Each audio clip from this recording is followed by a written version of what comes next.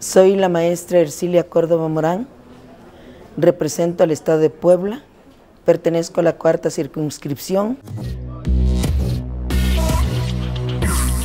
Y mi objetivo para esta legislatura es tratar de coadyuvar a mejorar las condiciones de atraso y marginación de nuestro país.